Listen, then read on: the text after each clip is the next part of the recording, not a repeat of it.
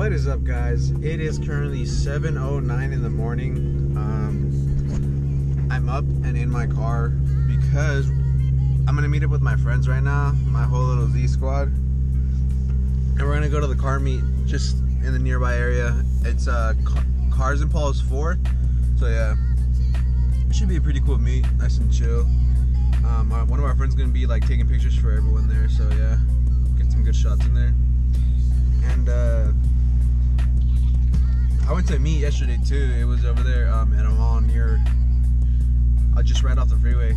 It was pretty cool. I had some friends that went, some super fast friends. It was mostly like a bunch of V8s, but it was still pretty cool. Like me and my other friend with the Z went too. We were the only VQs there, or V6s I think too. But yeah, it was pretty cool, pretty fun. Had some food and stuff. So yeah. So I'm gonna go meet up with my friends right now, and then we're all gonna mob over to the uh, to the meet right now. So I'll see you guys in a bit. So I'm almost there to the location where I'm gonna meet my friends at, and now I think about it, I probably should have brought my dog. That would have been pretty cool. At least I think it would. Too late now. I'm already not home, so yeah. We'll see how this does. Dale. Fuck, all right, hold on. Ready? Let me know when you're ready. Yeah, ready. Go.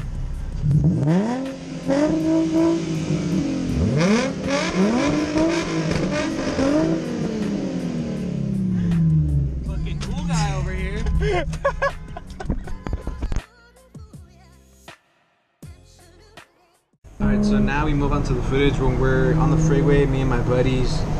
Um, we're going, I'm probably going to skip this part in a couple seconds because we're just literally driving on the freeway, doing pulls here and there. So, yeah. There's my friend in the 370, my other friend in the 5.0. Here comes the other dude in the 5.0 on my left, right there. So yeah, and now I'm gonna skip on over. So first, you're gonna see the inside shot. You see the M5 on my left right here. I'm coming up, and this is where things start to go wrong. Right about now. She's done right there. Yep, and I'm just thinking to myself like, oh, what the heck? Like, what happened? I see, like in the video, you can't see anything at all. There was a bunch of smoke in my cabin. Like when I pulled over, like about right here, started getting more smoke. A bunch of smoke coming out from my rear, and I'm just like, what the heck? So, I mean, there's there's a you probably be able to see it a little better. Some smoke on the outside view that the M5 took. And let me just show you guys that right now. So here's the footage from the M5 right here. So I'm coming up right here, coming. So pay attention to my rear. There's the smoke. Something flew out. Yep.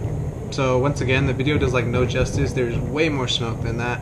So we all pull over. We're like uh, trying to diagnose my car. Can't really figure it out because there's just like too many things going on. Car won't crank, leaking coolant. There's not really much oil for some obvious reason.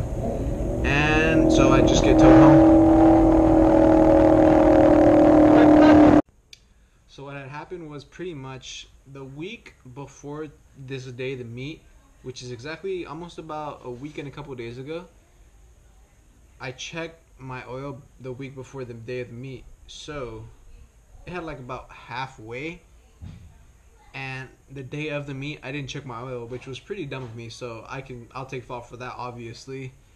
And I didn't expect to go do some pulls on the freeway with my boys at all. So the meet's over. What's I mean, yeah, it's over. We start leaving, and they're like, "Oh, you like, let's go, let's roll out on the freeway." I'm like, "All right, whatever, I'm down." And I didn't think about my oil because I was just like super like happy, excited, I guess that I don't know, just being around all those cool cars was really cool. So we go, we go, we're going.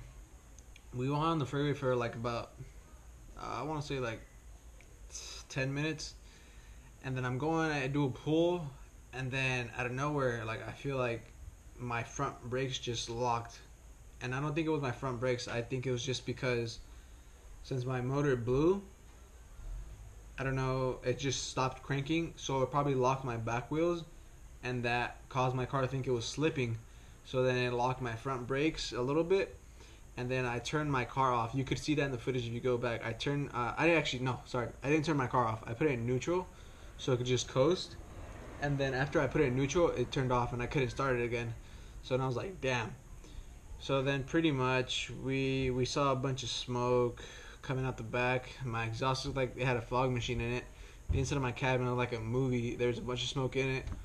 Um, we checked the radiator, we checked hoses, we look down, we see coolant all over the ground, don't see any oil because there's no more oil left to burn.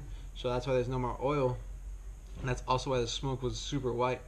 And again, you can't tell in the video at all. But um, yeah, it turns out I burned all my oil. Um, and you know, when a motor doesn't have oil, what is it gonna do? It's gonna you're gonna blow your motor. So I mean, yeah, I learned my lesson. Check the oil more often, and don't do pulls without checking your oil. Make sure your car's running great.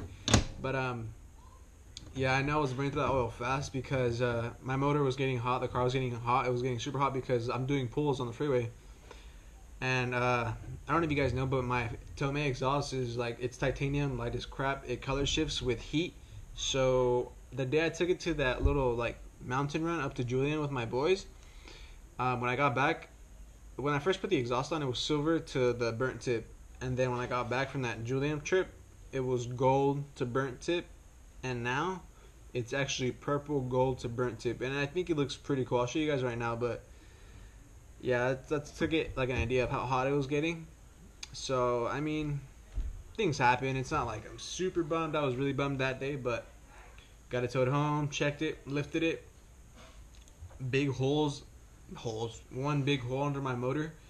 So I already secured the motor that I, I, I was looking at motors the day of. Like I already started looking. I was thinking about doing a swap maybe. Like I looked at an LS, I looked at a 2J, um, I looked at a freaking RB26 DETT. I mean, they all sound super cool. I checked the LS conversion kits, pricey as hell. 2JZ, pricey as hell. RB26, don't even want to think about that. So I just said, you know what? I'm just gonna buy another uh, 350Z motor, the VQ motor, slap it in there, and then just rebuild it over time. Change the rods, the pistons, piston rings, the bearings, all that crap, and uh, yeah, probably get it ready for some boost way down the road. But for now, I'm gonna put the motor in, worry about getting the car running again, and then probably rebuild it within some time. So yeah, I'll show you guys footage of the uh, hole under my motor right now, and then um, I'll show you guys what my exhaust looks like right now. I think it looks pretty cool. I don't know what you guys think. So first coming up is the hole right here.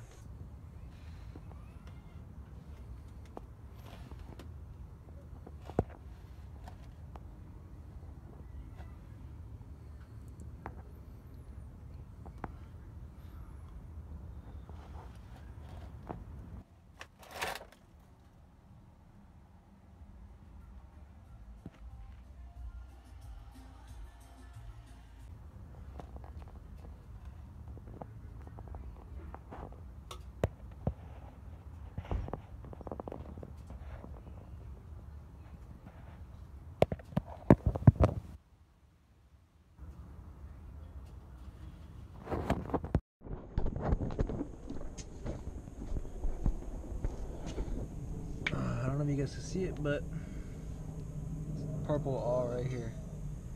Just a little bit of golden and the burnt tip blue. Oh yeah, and yeah, that's my bumper. Yep. But yeah, it's purple now.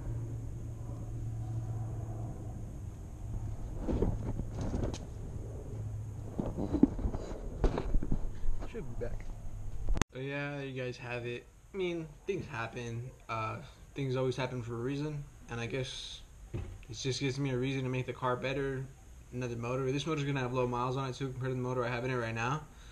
Um, I think my car has, believe it or not, 117,000 miles.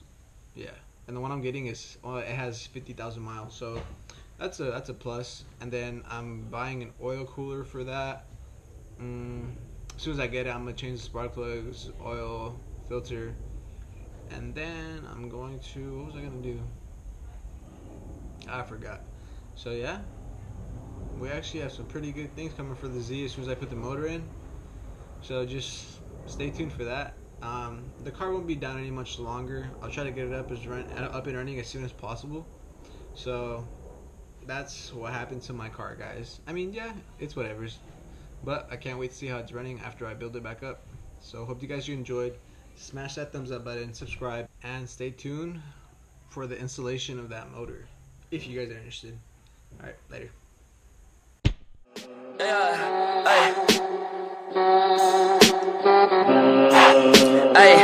uh,